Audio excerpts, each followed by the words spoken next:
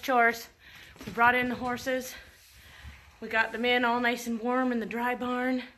They are enjoying their hay and I got to brushing Miss Lola and Miss Miracle Baby decided to start kicking. And yes, I say miss because I'd really like a filly right now.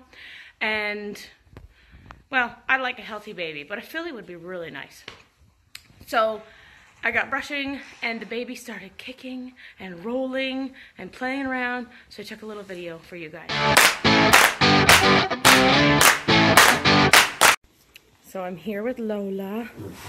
Brought her in for the day so that she can dry off from being outside, but the baby's moving around a little bit and I thought I'd show you guys. I'm not sure if you can see really well, but if you look at her belly, you can see it starts to move. The baby will give a little kick out. He's going to play shy now.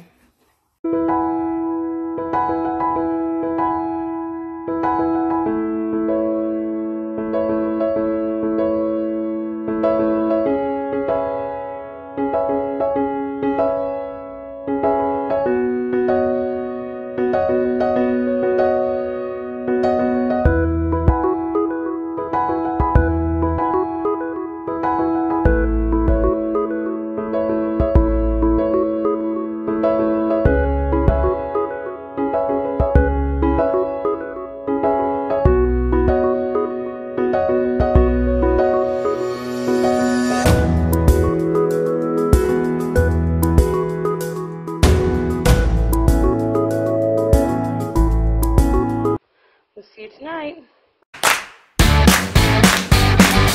Well, did you enjoy that? I'm so excited for this baby to be here, and I will keep you guys along for the ride. Hopefully, we'll be around for the birthing, and you guys will get to see it all.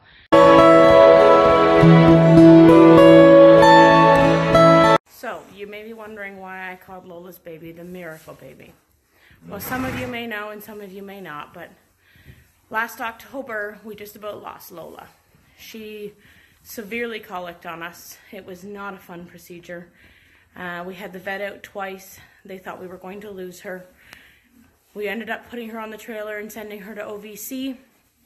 And I'm not sure about you guys, but I'm not a millionaire. Surgery was just not in the budget, so I was praying to everyone that I could that we wouldn't have to go to surgery and she would survive without it. But as you all know, she's still here today. Anyway, um, the doctor said we would have lost the foal had it not been for a weird, um, how would you put it? Weird circumstance during the whole thing. And